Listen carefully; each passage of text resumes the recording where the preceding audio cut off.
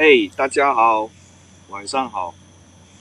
今晚啊，特别的不一样。我们今天来到了旧张仪医院的后门。呃，那些曾经看过我其他的节目的，应该还记得说我有来过这里。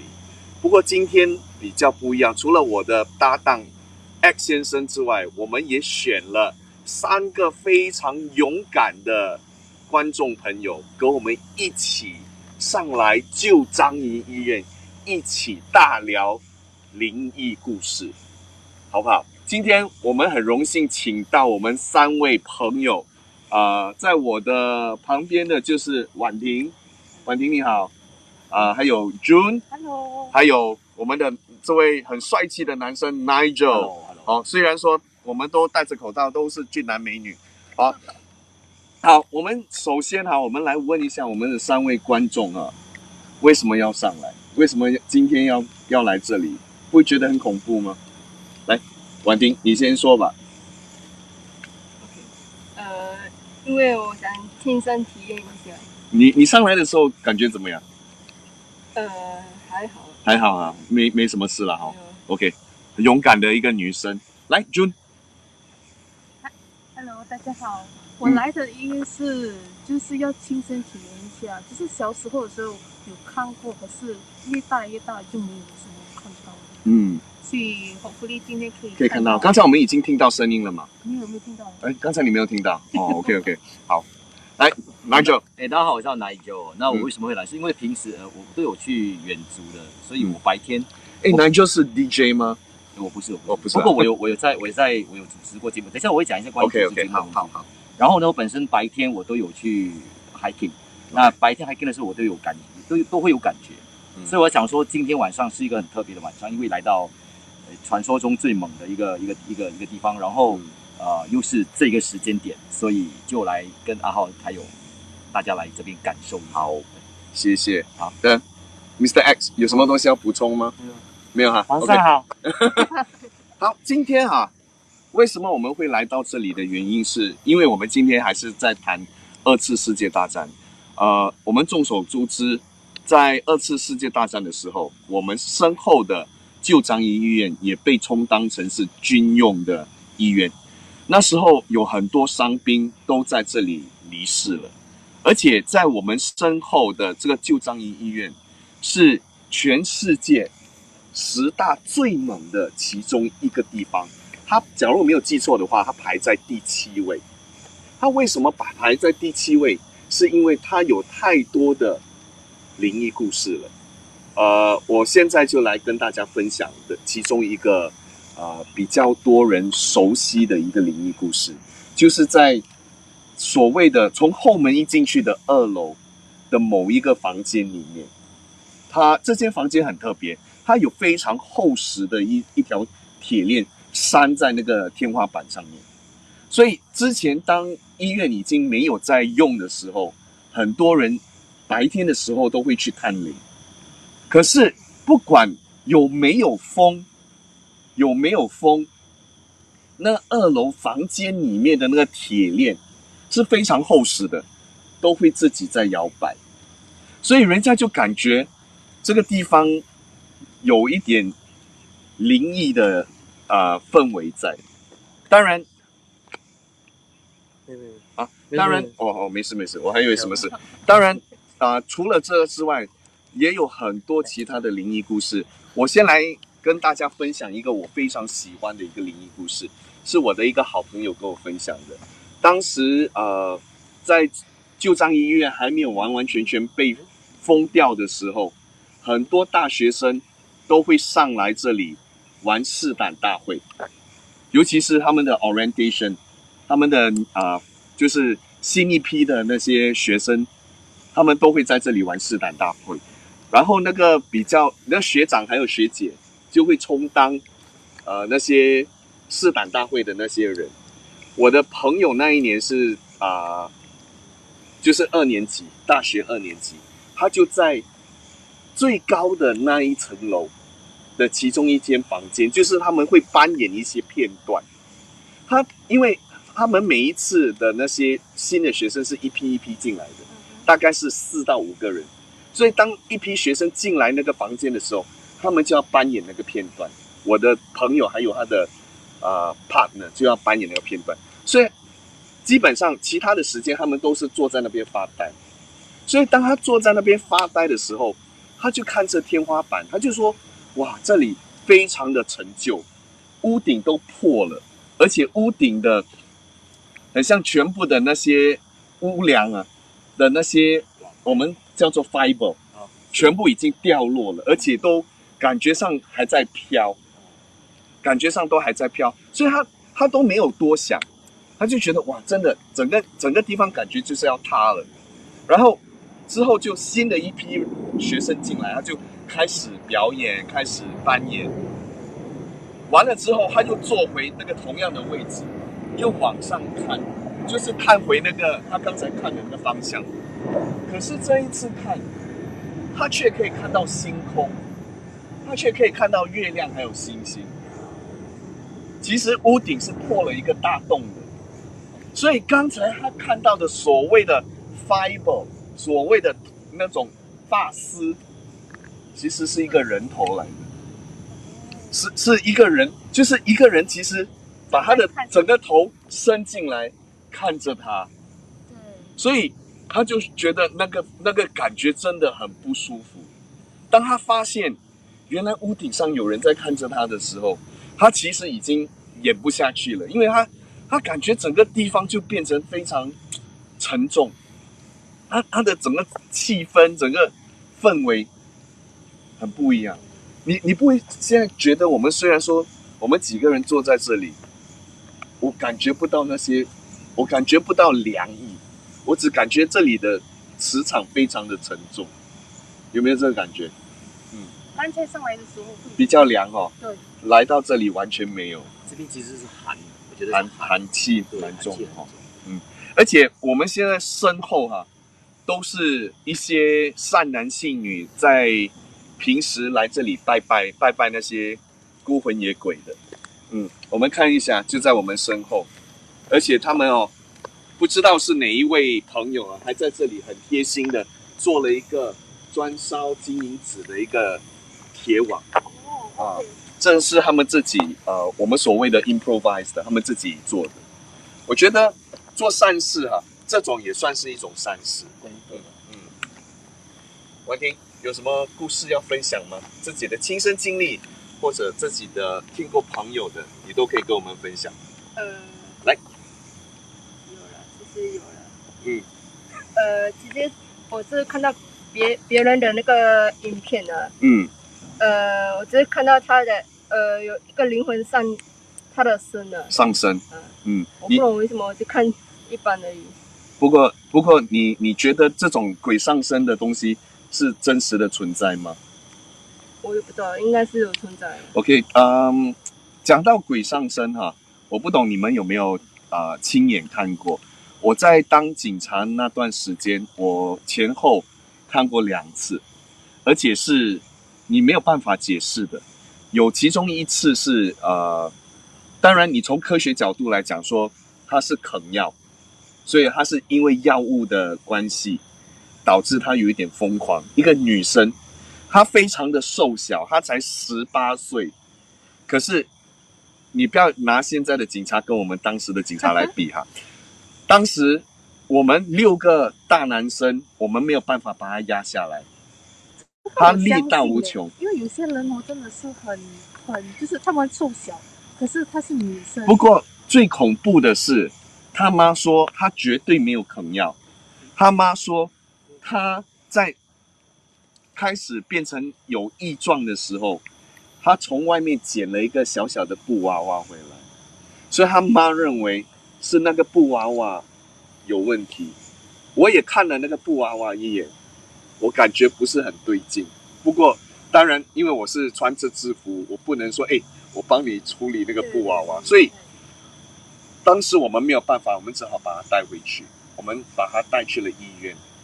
医院之后到底发生什么事，我们就不知道。所以婉婷说那些呃附身这些东西，我们不能否定它，它真的可能是真实存在。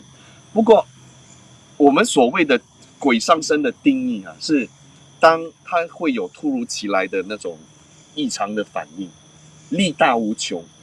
呃，在当警察的时候，我常常会碰到的，那就看到东西了哈。OK，明白。没有，他在我后面而已，没事。啊，OK，呃，Sorry 啊，给我一一一点点时间，有一点点时间。我读一个 comment 先吧。好好。有一个有一个呃有一个我们的 fan 啊，就是 Henry，他讲他以前中学的时期，he I didn't manage to got 呃 to go the chance to go in。So we're standing outside the OC entrance, always feel uh, giddy and headache. 嗯嗯。现在在卡，在卡哈。对。哦，OK，这里这里的这里的呃 reception 不是很。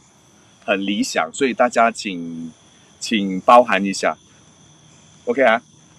呃，刚才讲到呃上升上升，呃，另外一个在我当警察的时候常常会碰到的也是泰国人啊。当然，泰国人我们也有不同的解释，因为泰国人很喜欢酗酒，很喜欢喝酒，他一个人可以顶我们十个警察。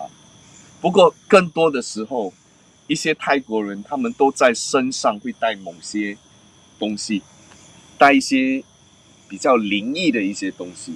所以当他喝醉了，自然而然那个灵异东西会出来，出来就是就是他的身体会暂时给另外一个灵体用。对，所以其实你你想想，它也是有道理的。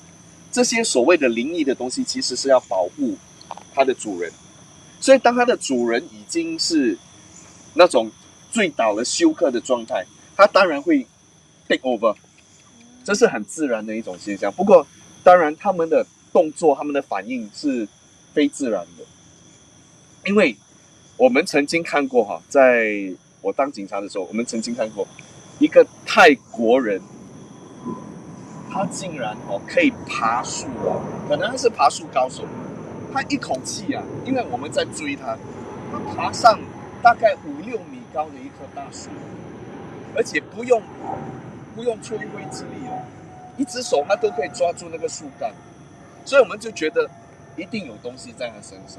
就是那个那个东西是帮对帮他逃逃离警察的啊，所以。很多时候，所谓的鬼上身，它有很多不同的原因，当然也有厉鬼上身。不过厉鬼这种是真的是很不幸啦，才会碰到。不过更多时候是，我觉得尤其是泰国人或者是呃东南亚一带的，当所谓的鬼上身的时候，更多时候是他们自己养的。哦，OK OK。好，嗯。不是在外面碰到那种。可能不是，可能不是。南娟。有故事要分享吗？你说你，我我其实有好几个了啊，可以分享来。呃，那我在去年，在去年七月的时候啊，因为我都有在，我都有在呃那些，我都有我都有做在做节目，所以我在去年的时候，我其实在网上哦，我在网上就做节目的时候，其实就是听啦，就是通过就没有看到，我没有看到人，就是通过 apps 啊，在做节目的时候，那时候我们就做那个灵异节目，我就做灵异节目，嗯，然后呢，我。我做的时间就很特别，我们时间是从十二点到两点，因为是两个小时嘛。嗯，所以呢，我第一次做的时候呢，其实那时就是刚，我记得那时是正月七月十五，哦，农历十五，然后就呃晚上十二点到两点的时间，然后那时我就我就安排了一系列的节目，就是我我们会请朋友上来，就是来讲讲一些灵异的故事。嗯。然后这时候呢，我为了制造那个效果呢，我就在我的节目里面播了心经哦，我播了两个，我播了大悲咒，嗯，我又播心经，对。后来在当然还有很多效果，就是那些呃鬼怪的效果了。当我们在讲故事的时候，到了其实差不多结束的时候，我我其实是没有听到任何的任何的声音了。不过很多听众过后，他们直接 message 我跟我反映说，他们其实在里面听到有很多小孩子在哭。嗯，有小孩子的哭声，有女人的哭声，嗯，我自己没有听到。可是后来，后来到了到了，那是节目结束了之后啊，那我其实我起初我也没有没有去相信这个东西，可是我发现当我的朋友好几个朋友他们 message 我的时候，其实已超过五个 message 我，都问我说，其实我的音响里面没有婴儿的哭声，其实是没有的。嗯，所以那是我第一次，我第一次本身有感有有有有感觉到了。然后呢，就很多人跟我们讲说不应该播，不应该该不应该在空中播心经跟大悲咒，因为尤其是凌晨的时候。嗯，对，这是第一啊。第二呢，在呃，在同在也是一样，在呃在隔了三个月，我们也在办多一场灵异节目，那时是在阿摩哥的一个 industrial park 里面，嗯，在那边办一个灵异节目，嗯，一样就是通过空呃那个就是通过呃空间。然后就是把那个就请人家来分享灵异故事哦。嗯那时候我们办的也是在十凌晨十二点到两点。呃，到了最后一个部分的时候呢，其实我们就带几个人上去。它的停车场很特别哦，它的停它有总共有五呃六层楼的停车场。那我们去到第五层的时候呢，其实我朋友的办公室是在第五层哦。到了最后一趴的时候，我们就几个人，因为我一个朋友他是可以感受到，他可以看到的。嗯，我们就。我们就好几，我们就三个人，就一起去那个停车场，就拿着摄像机，就像现在这样嗯，去让大家感受到，嗯，感受一下。可是我朋友就跟我，我朋友其实当我们要搭出去那个停车场的时候，他不敢搭出去，因为他说，他真的是感受到整个停车场，阿莫给你到时候怕的，整个停车场哦，都是有朋友在那边，好，而且他可以看到很多只都在车里面。其实 Nigel 的这故事哈是有解说的，其实很简单，呃，甚至我们现在在做这节目的时候，他们都已经靠过来了。他们都已经靠过来，因为我的身体是会跟他们的出现呃会会应的，就是我我可以直接马上感应到他们的出现，呃。其实我们说穿了，当我们讲到灵异的时候，它离不开呃视频，它也离不开摄影机，因为听说了，我不我我我只只能听说，呃，他们非常喜欢看节目，所以每当有机会可以看现场的节目或者是人家录制节目的时候，他们都会很好奇的要靠过来，尤其是当我们在讲关于。他们的故事的时候，他们更会靠过来。我我跟大家分享一个，我在电台，呃，我在呃 Media Hall 的电台曾经做过一次的那个，其实我做了蛮蛮一蛮长的一段时间，就有那么一次，我们在做到一半的时候，我忘了我是讲什么故事，就有人一直在，因为我们当时有五个人。我们都听到有人在抓，就是用手指甲在刮那个桌面的声音，而且抓了好几次，而且当时的其中一个啊女 DJ 她已经愣住了，她已经感觉有一点不对劲了。接下来的竟然有一个女人的哭声，而且非常的明显。假如你们知道我在讲哪一个电台。你们不妨回去再重听一下，不过是很久以前的。呃，当然，我们是觉得说可能是不小心录到了某个声音啦。不过，我们都很清楚，那些声音其实不属于那天晚上的。嗯，怎么会跑进我们的直播？还还有我们的录音，我就不知道了。而且，我我也常常讲。呃，尤其是刚才 Nigel 说大悲咒啊、心经这些，呃，为什么很多灵异朋友、灵异好兄弟、好姐妹，他们会非常喜欢呃靠过去那个庙？或者我常常说，假如你们要买房子、有地房产的话，尽量不要尽量不要买靠近庙的原因，是因为庙常常会念心经，会有一些。呃，法会这些，所以这些所谓的好朋友，他们不能进到庙寺庙里面去，他只能留在庙的外面。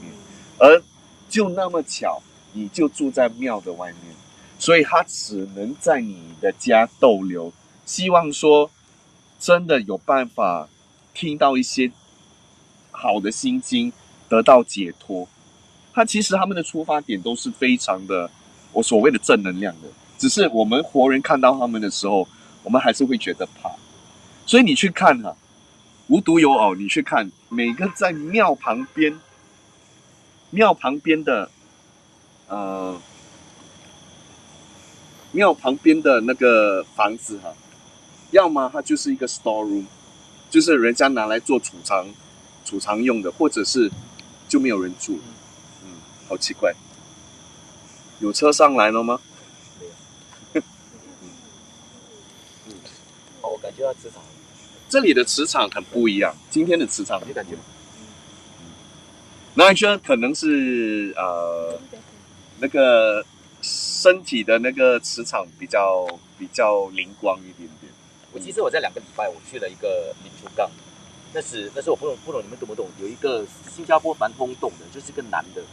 他杀了他的女朋友，然后在那个地方烧他尸体，在林林竹港，林竹港那边。两个礼拜前我去跑去这个地方，嗯，我进去里面，很很那种白天哦，可是感觉就是，你会他们真的很多很多东西存在，怨气很重很重那个地方，而且是荒废，它是一个荒废的一个，一定是养牛养牛的地方嗯，那个地方真的很怕，真的是有有。有什么好故事可以分享吗？我是没有亲身体验过啦，不过呢，可是我听，因为我以前我是在医院做过工的，所以呃，因为我是来自马来西亚的，所以以前我是在医院做过工，在马来西亚。可是哪一间我就不要讲了。嗯。可是呃，就是听说过这个小孩子，这个 teenager 他是蛮 youth 的，连他就不懂什么事情，他就是要换血。连那个 pet lab 那个那些 lab 就给他错了一包血，就导致他死掉。连他的那个冤魂就在那边，就每次晚上十二点的时候，晚上十二点的时候，他就会有，就会有那个这个女这个女孩子就会在那个口 o 多那边走来走去。可是她就是不会害人呐，就是你可以看得到她会走出来，然后再走回去。就是我觉得很，我不懂他是要 revenge 还是他真的是要找人家求救，真的是不，嗯，还是在一个什么？在我们身后的这间医院哈，曾经有一位护士长，呃，在因为这个医院也只是在十呃二十年前刚刚搬，二十多年前刚搬搬去那个四美那边，所以。在那之前，他还是有在用的，还是有在用的。所以呃，当时哈，当时这护士长有在呃一个呃，应该是一个一个 blog site 曾经分享过他这个故事。他说，他说他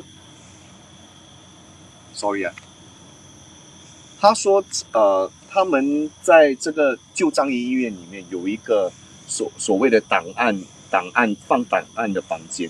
其实这些档案哈都是非常旧的，很多档案都是那些已经过世的人的档案，不过全部是储藏在那边。时不时有一些呃医生就会要求说去取出一些旧的档案，要做一个 reference，要做一个呃对比。所以那一天。那一天，这个护士长就进到了这个所谓的房间。其实这房间是没有冷气，也没有空调的，就什么都没有，就是一个很封闭的一个一个房间。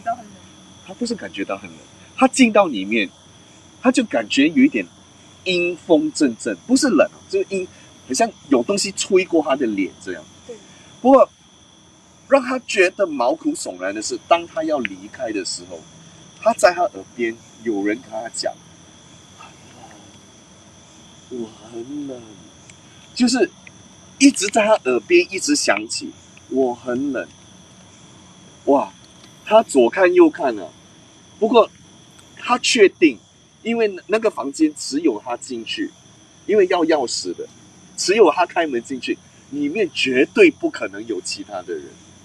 那那个所谓的“我好冷”是从哪里来的？而且就是在耳边哦。不过我觉得这种灵异朋友，当他们要对我们发声的时候，我我觉得他真的是用尽了喝奶的力气，因为基本上灵异朋友是没有办法跟我们发声的，所以他们通常都要通过不同的仪器，不同的，很像我常常会讲吊弹珠啦，或者鬼敲鬼打墙啦，这种那种敲那个墙壁，它就是其实不是说为了要吓我们，而是要在告诉我们。我就在你旁边，你帮帮我，你帮帮我，呃，打个广告啦，因为我我这个礼拜五的呃 YouTube 就是讲关于灵异的声音，所以假如你们想要听一下，呃，什么是鬼电话，鬼为什么会打电话，你看我这一集的这礼拜五的阿浩见鬼就会知道了。所以哈，有些时候当我们听到某些声音的时候。你真的要停下来，仔细的再听一下。假如你真的有办法帮他们的话，像我们后面的这些善男信女，每次几乎每个礼拜都上来帮啊做一些功德，我觉得是真的是功德无量。嗯，好，还有吗？有什么故事？你讲到电话的，我自己本身也是有经历。怎么样？我们那时是那时是我记得我在中四中，没有我在。中学的时候，那时哎，我其实那是小学打成绩单的时候，那时那时其实是半夜的时间，是半夜的时候啊。本来就我跟我朋友约了，隔天我们要一起去拿成绩单。后来我就当天我就没有，我就很晚睡啊，就没有这样早睡。然后刚好我父母不在家，不在家，我弟弟呢本身就在房间里面睡觉，我们住三老师。然后。我叫我朋友，我本来约了我朋友十一点打给我，跟我约预约明天的时间，我们一起可以回去学校去拿成绩单。可是到了凌晨一点，我朋友没有打给我，我就打给他，我说：“哎，你干嘛？你干嘛没有打给我？不会讲好十一点要打给我吗？”他说：“有啊，我打来。”他说：“有一个有一个老人说你已经睡着。”我说：“不可能啊，我家里只有我跟我爷爷，反正我的外我的我的爷爷跟我的爷爷已经去世了，所以我我家都有祭拜他的那个。对，然后呢，他说你家有一个老人家说你可以睡着。”我说好，我说可能你打错电话，什么没关系。那我们讲了一些东西，然后说我我跟他讲说，等一下多一下你你再你再 call，我们再开到到底明天我们要几点约。可是隔了一个小时他还没打给我，我就打给他，我说哎这干嘛干嘛你没有打给我？他说有吧，有一个老人家说你跟你弟弟都在里面睡着了。我跟后来我听了这个东西之后，我跟他我就跟他讲说算了，我们就直接约了，然后盖盖了电话就去睡觉。所以可能真的是家里的长辈帮你们接电话吧。我我我觉得有这个可能性啊，可能就是看我们，就是不要让我们太太晚睡嘛，啊，也不要让你们这么晚跑出去嘛。对 对对，所以哈，很多东西是没有办法解释。你讲到电话，我最近在网上看到一个，我感觉非常感人的一个啊故事，它发生在美国的一对啊情侣身上，啊，他们两个啊这这一对情侣基本上已经是到了谈婚论嫁的。时候了，可是那个女生很不幸的，她遇到了一一场车祸，就离世了。然后那个男生就一直没有办法释怀，因为都啊恋爱了那么久，都要结婚了，要说走就走。而而且他非常啊后悔，当天他没有去载他的女朋友。他觉得，假如说那一天他去带他的女朋友的话，他的女朋友就不会发生意外。当他女朋友过世大概快十个月或者是一个月的时候，怪事就开始发生了。因为，呃，他还是保留他的女朋友的 Facebook 的账号，所以基本上他是有有办法在他的女朋友的账号再发一些短讯啊，还是做一些 update。不过，只有他还有他的女朋友的妈妈有那个 access 啊。怪事就来了，突然之间，这男生就收到了他的女朋友发给他的短讯哦，Facebook 短讯，而且这些短讯啊，不是新的短讯，而是他之前之前发过的一些短讯，他就是解解出一些之前发过的，再重发给他，而且。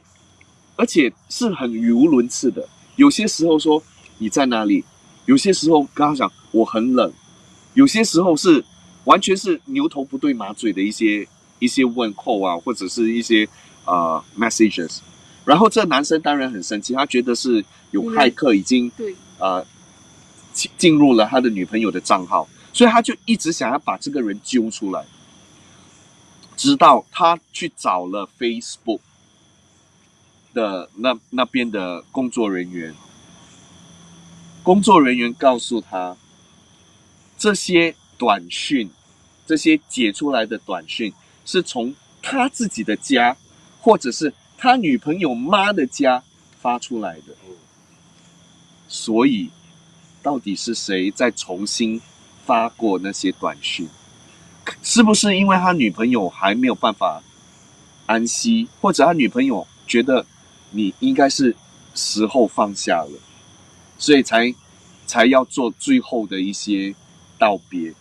不过，假如说你收到已经过世的一些人的短讯，或者是 Facebook message 的话，你不会觉得很恐怖吗？我会觉得很恐怖。如果你是自己的亲人的话，就不会。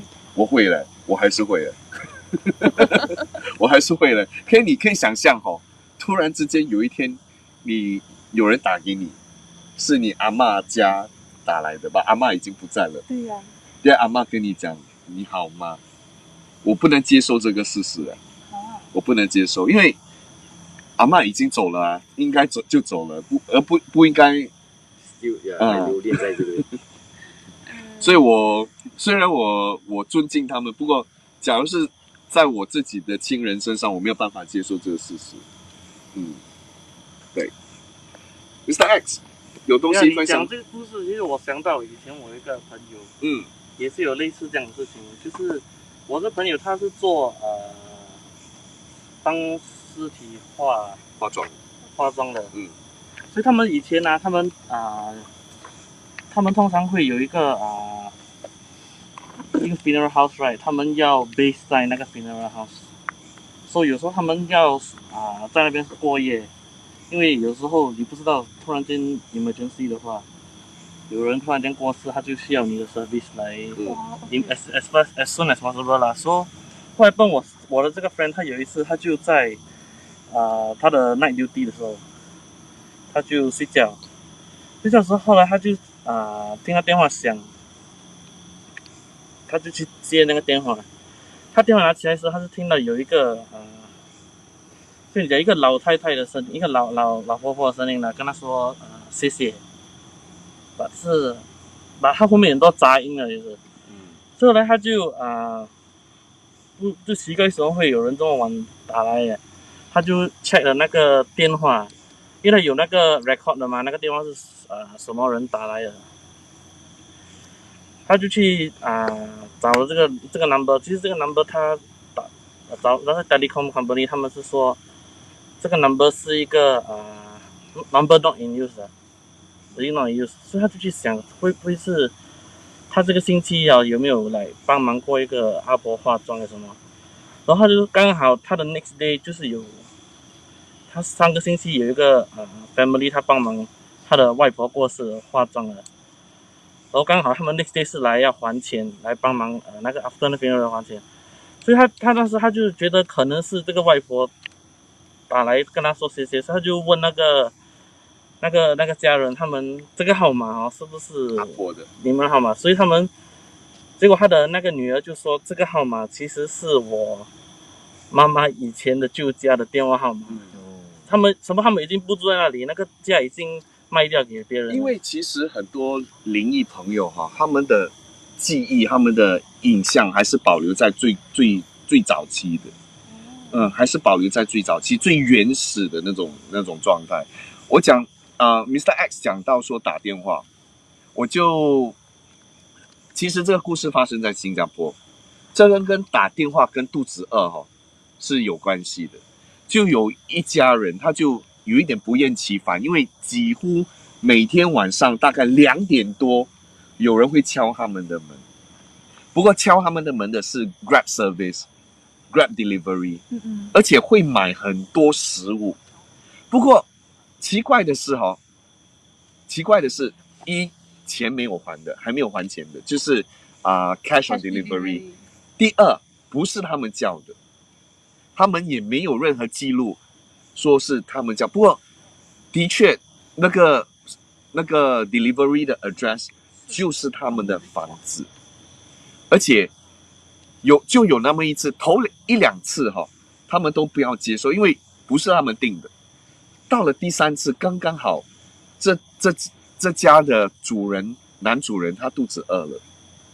肚子饿了，他就说：“好了，算了，反正都来了。”他还了钱，他就把整包食物就放在厨房的桌面上，他就走去他的房间要拿一些东西。当他走回厨厨房的时候，他看到一个非常瘦弱的一个黑色影子，因为厨房的灯没有开。哦，厨房的灯很。你你懂，在一个很暗的那个环境，当你可以看到多一个黑影的时候，他其实是蛮恐。他就看到那个很瘦弱的那个黑影在那边，很像打开那些食物，感觉是要吃。他把灯打开的时候，那个黑影就不见了。当天他就发麻了，因为他觉得这个事件哦不是纯粹的恶作剧。然后。他终于发现到底是谁叫了这些 Grab service，就在他房家里的隔几间，有一个老人在在不久前过世了。过世的原因其实是他不小心摔倒了，而且他是独居老人，他摔倒了，而且没有办法求救，他是活活被饿死的。他是活活被饿死。为什么这位老人家的。灵魂会找到他们，就不得而知。可能他们有一一些缘分在吧。不过，当他知道这件事情的时候，他做对了一件事。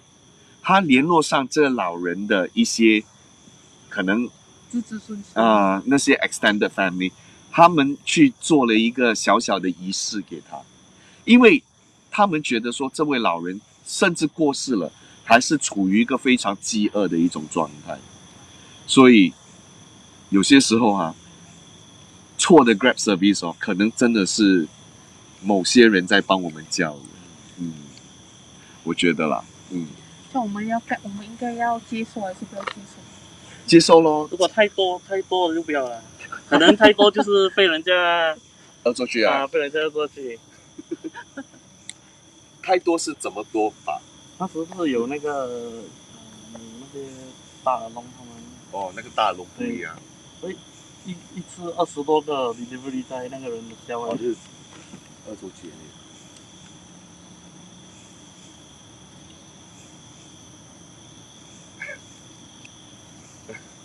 其实你们有没有人来过这里？你们三个没有没有进去过？没有。没有。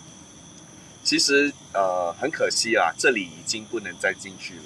其实这里的整个磁场和氛围哈，甚至在白天的时候哈，它就是不一样。它就给你感觉有一点，有几句话可以形容：阴风阵阵，死气沉沉。而且这两个感觉上是对立的嘛，阴风阵阵应该是冷嘛，对。可是为什么又是死气沉？因为在某些房间里面哈，你走进去你是感觉到压迫感的。压迫感的原因很简单，可能里面站满了人，站满了他们，所以你进去的时候，其实哈，我跟观众朋友分享这个，呃，这对你很有用的。你不管是在新加坡也好，在外国也好，假如你走进一部一一部电梯，电梯应该没有事的嘛。不过，当你走进一部电梯，你感觉非常压迫的时候，请你不要搭这这台电梯，因为里面已经满了。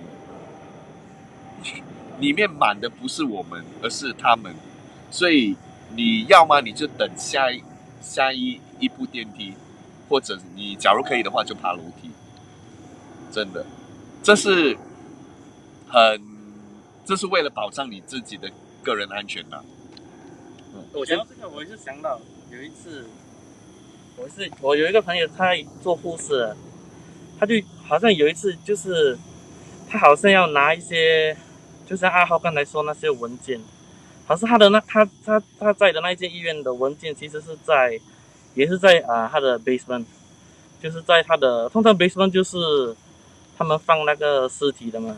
所以有一次他就他的 senior 可能叫他下去拿一些东西，他就按了那个电梯，结果那个电梯怎么按啊？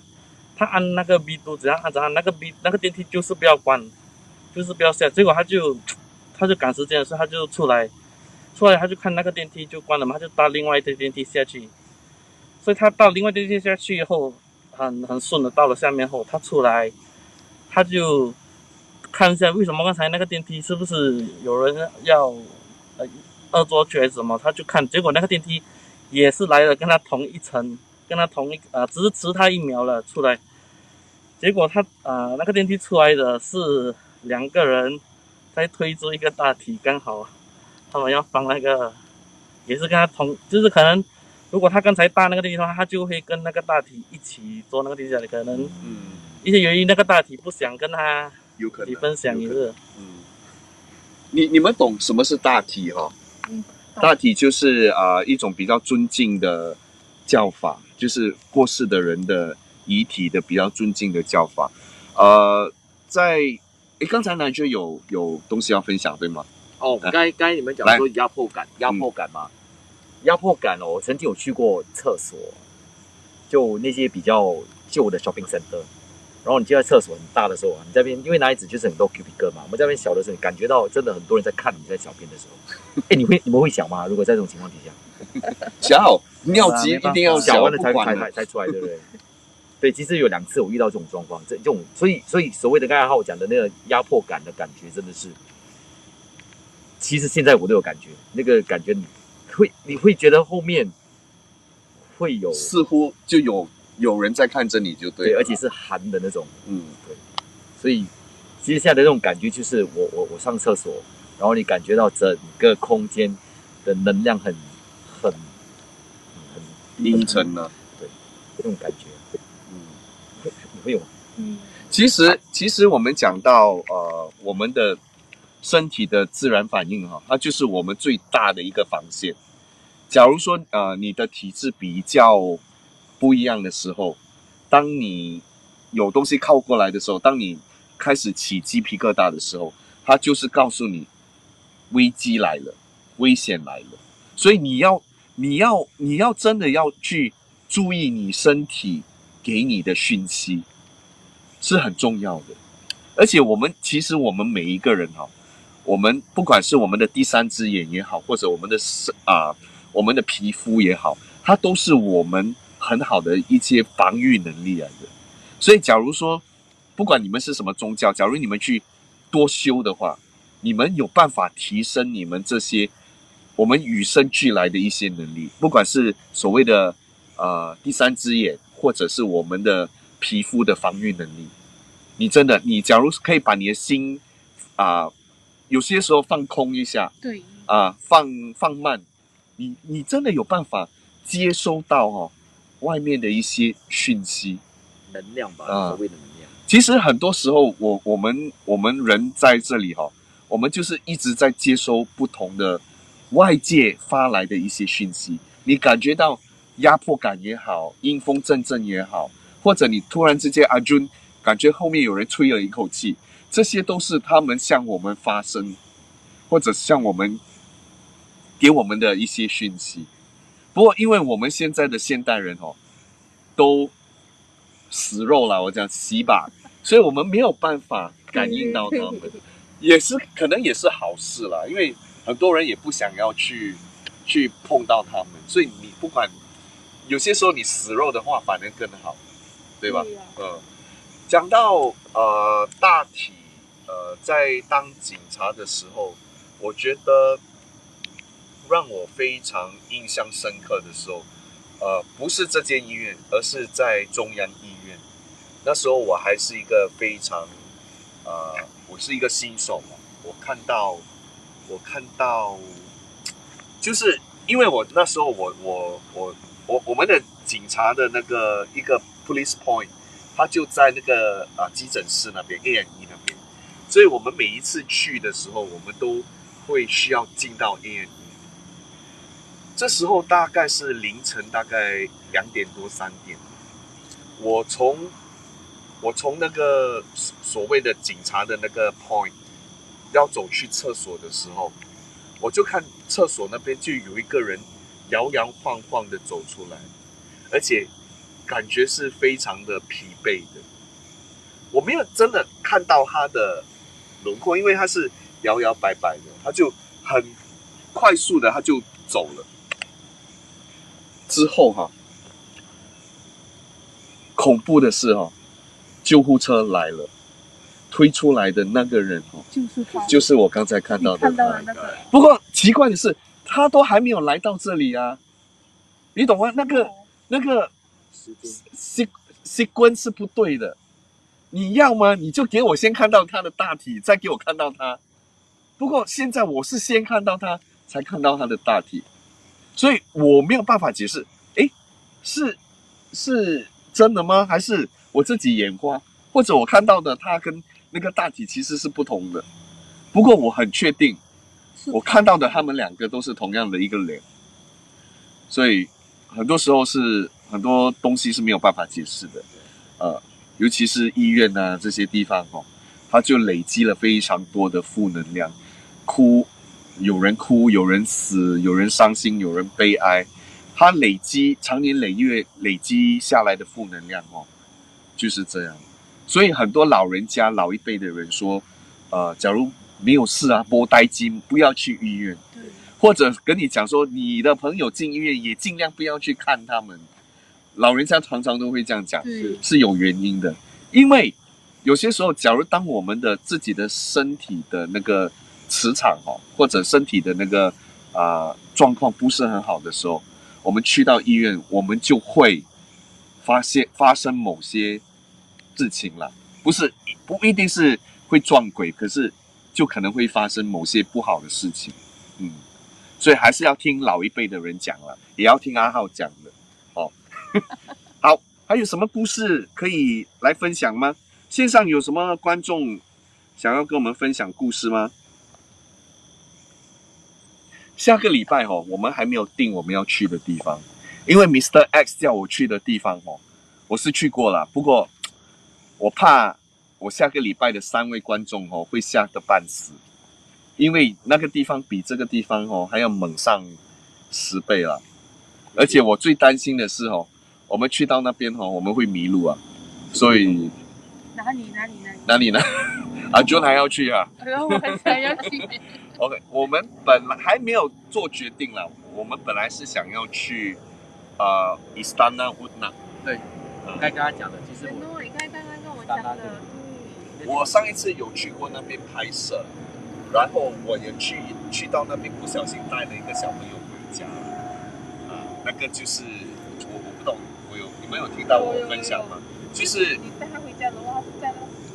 床边，不过最糟的是，从那时候开始的整整一个月哈，到了凌晨十二点起哈，我就会肚子饿，而且我会吃非常非常多的东西，是我自己开口问他要不要我帮忙，他没有回答我，可是他来，呃，他跟住你，他跟住我了，他跟住，所以呃，后来怎么怎么怎么，一个月后他吃饱了他就走了。他就吃饱就走。对对对，他讲他吃饱了，然后他就走了，就就走了，就走了。啊，就我就没有再感觉十二点肚子。不过最扯的是，我吃了很多东西，我早上七点我还是感觉非常饿，感觉我完全没有吃到任何东西，而且而且会感觉很累，因为你在帮他吃。当然有人讲说，哎，呃，阿阿浩讲讲大话啦，吹牛。不过。假如你们自己真的亲身体验的话，你就不会觉得我在吹牛。嗯，而且而且这个感觉，我我不觉得这感觉是很恐怖，可是这感觉是没有办法用言语来形容。它就发生，它真的就发生，而且就在那天晚上四点四十四分，我醒过来的时候，它就在我床边。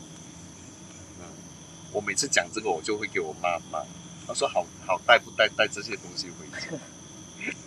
嗯，好，还有什么故事吗？马丁？嗯，没有，没有啊。就没有，没有啊。那只是很 excited，就是可以来到这个现场。现在我们来讲一下你们现在的感受吧。你们觉得这里有吗？自己讲。我觉得太亮了哎。太亮了。太亮了。这本来应该是要再往下走一点哦。一一个往下哦。里面啊。不过你比较。里面是很猛啦，不过因为我我不我不是怕灵异朋友，我是怕我们被警察捉。因为里面现在有 CCTV，所以假如我们我们坐在那个门口的话，对对对，啊，不到十分钟警察就会来了，所以我们就选择在。其实这里哈，从风水学来讲是一个非常阴的一个地方。对，因为它是十字路口。它是十字路，我们就坐在十字路口中间。啊，我们现在就坐在十字路口中间。其实不应该啦，吧？因为这个地方比较亮啊，所以对，太亮了。嗯那就感觉哦，嗯，呃，其实刚才你讲的，刚刚他在阿浩在讲故事的时候，我我是感受到，我是感觉到寒气很重，我头很痛，头很痛啊，然后我差点要哭出来，我我感觉到我的眼泪都打转半，那一样，我刚才有有有一度我是感觉到，嗯，讲到，其实讲到灵异朋友，我需要帮他们，我不能代表他们，因为我毕竟还活着。我只能说，我们每次碰到的，我们每次遇到的，或者我们每次从别人口中啊听来的，都是他们是恐怖的，他们都是可恶的，他们都是就是来搞破坏的。可是我们有没有试想想，他们其实也也是曾经也是活人，不过因为某些原因，他们离世了，而且而且很多时候他们是抱着很多怨念。而不愿意离开，所以其实基本上他们都是非常的辛苦的。所以有些时候，当我们真的不小心碰到他们的时候，可以不可以用比较宽容的心来看着他们？当然还是会怕，我不能我不能说我们不怕，可是我们用比较宽容的心来往后退一步，说哦，跟我们就是跟你们一起共存，我们跟你们一起共存，呃。然后就希望他们可以真的解得到解脱。好，呃呃，今今天哈，我觉得反正我们都来到了这里了。好，假如我们不走进去，也很对不起观众朋友，好不好？我们一起就走进去，给也给我们的这几个嘉宾看他们有没有感觉有一些不对劲，因为现在已经是。十一点五十四分了，我们就在十二点啊，而且 EMF 哦已经是你呢，Mr X 你呢，EMF 已经是开始很猛了，嗯，好不好？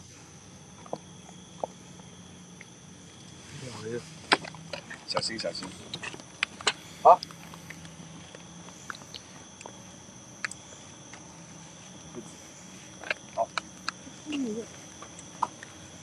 现在哈，现在我们就是往那个呃张仪的后门走。这甚至以前哈，这后门也不是很时常有人会用的。而且当我开始走的时候，我已经身体已经开始发麻了，而且已经有鸡皮疙瘩。这代表说，他们就在在附近啊。不过我每次讲的，他们出现在这个地方是必然的，我们不应该是在这里。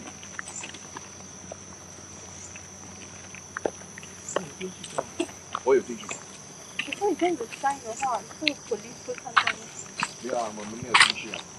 哦，这样子摔是小便的啦。只要我们不进去。要徐哥他的那个。嗯，好，所以我们现在所在的位置就是呃，那个张仪旧张仪医院的后门，而且当我们看着他的时候，哦，有没有办法照到那些房子啊？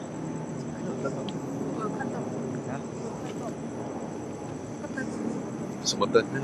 红在哪里？哦，那个他的先生吧，应该，哎，那个那个，是他的所以我们现在就是在他的后门。